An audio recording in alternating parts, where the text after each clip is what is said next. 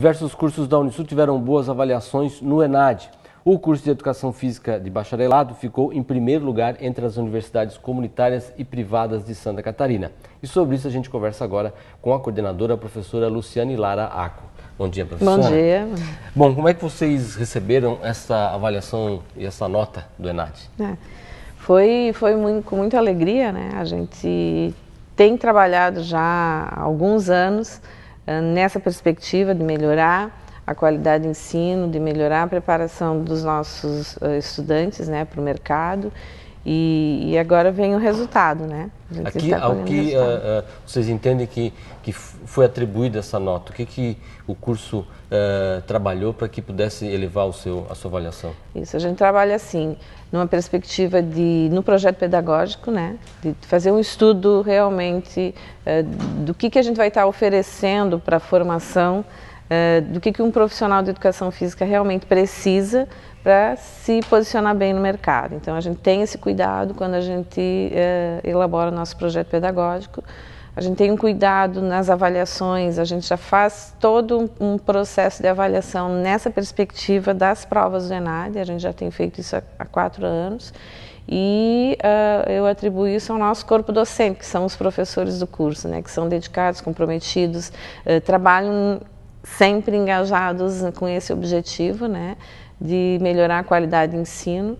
E isso agora é o resultado, né? Porque o ENAD é, um, é, uma prova onde os alunos apresentam o seu conhecimento. Então, isso comprova que realmente a gente tem feito um bom trabalho. Essa nota, inclusive, faz, consta no diploma dos isso, estudantes, né? Isso, consta. Por isso que a participação diploma. deles, o empenho deles uhum. também para realizar uhum. a, o exame é importante, né? A gente trabalha também uh, nessa conscientização com os estudantes, né? De que eles têm que realmente se dedicar eh, fazer a prova, mostrar aquilo que eles aprenderam no decorrer do, do, da sua formação, não chegar lá e, e fazer uma prova para nada. Então, eles têm essa consciência, eles têm esse conhecimento de que realmente aquilo vai ser a avaliação deles, avaliação do curso todo, então é uma responsabilidade que eles têm também, né?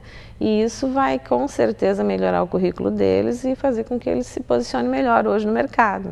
É, o curso também recebeu uma avaliação do Guia do Estudante Abril com quatro estrelas, não é uma nota que vai no diploma, mas também é uma avaliação muito importante no cenário do ensino superior brasileiro, né? Sim, com certeza. Hoje nós temos mais de 600 cursos de educação física, de formação de profissionais no Brasil. E, e, com essa avaliação a gente está posicionado entre os 15 melhores do Brasil. Eu penso que isso é um motivo de muita comemoração, porque nós somos um curso novo, nós vamos fazer 15 anos de, de implantação do curso aqui em, na Unisul em Tubarão.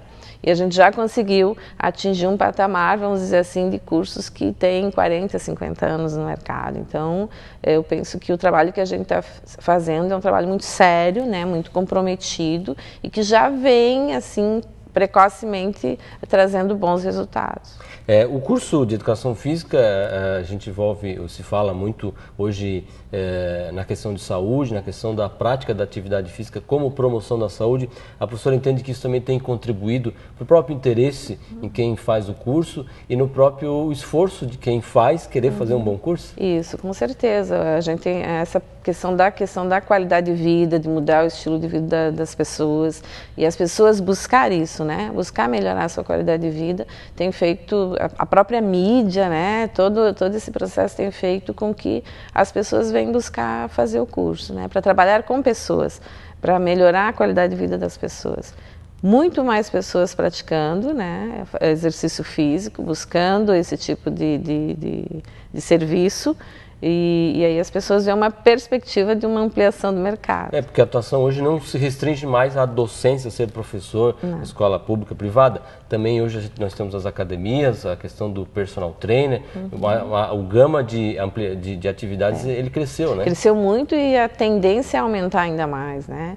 E as pesquisas aí que saíram agora, de 2015, que 50% da população mundial não faz nenhum tipo de atividade física. Então tem um, um, nicho de mercado ainda bem grande a ser explorado, né? Então as pessoas têm essa perspectiva que ainda vai crescer mais o mercado. Bom, a universidade está realizando desde ontem o vitrine das profissões, a gente já mostrou aí no início do programa.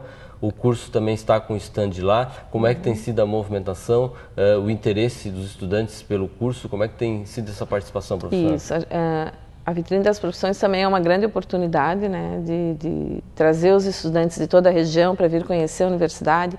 Muitos deles nunca entraram na universidade né, e a gente tem feito, fizemos mini aulas ontem, as nossas mini aulas sempre lotadas, 50, 60 estudantes. Uh, então eu vejo que tem interesse, tem muito interesse, tem potencial e a gente tem tentado nas ações, nos eventos, uh, mostrar o que a gente faz, o que a gente tem de bom, né? Para uh, tentar atraí-los para a universidade. Porque a vitrine, claro, é uma opção de, é, onde além de, do curso de Educação Física, os estudantes podem conhecer as outras Isso. carreiras. Mas o curso tem se feito presente em diversos eventos, competições esportivas, sempre tem algum acadêmico de Educação Física lá, de certa maneira, aprendendo na prática uhum. as diversas possibilidades de trabalho. Né? É o que eu falo para eles. A oportunidade que a gente tem de vivência prática daquilo que eles vêm é, ver na teoria é muito grande porque a gente tem muitos eventos durante o semestre.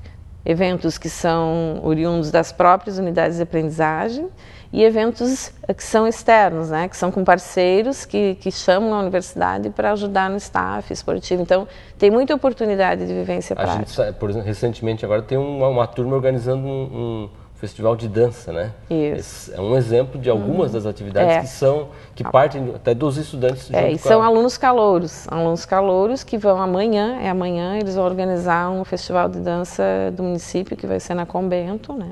A professora está bem contente, ela viu que a turma se engajou. Eles vão organizar todo o evento, foram atrás, atrás de patrocínio, da montagem, iluminação, toda, toda a organização feita por eles, que são alunos que entraram agora no curso. Bom, nós conversamos aqui com a professora Luciane Laraco, que é coordenadora do curso de Educação Física da Unisul, eh, e o curso de bacharelado que recebeu avaliação nota 4 no ENAD, também 4 estrelas do Guia do Estudante. Quem tiver mais interesse, informações, hoje, por exemplo, ainda tem vitrine das profissões e pode acompanhar lá. Professora, Estaremos muito, lá. Muito obrigado por sua participação. Tá, joia, muito obrigada.